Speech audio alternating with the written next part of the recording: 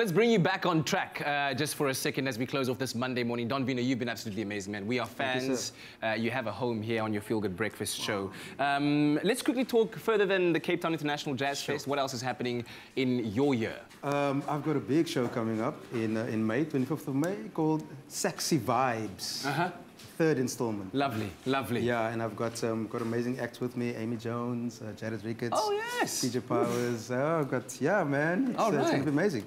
Tickets at CompuTicket.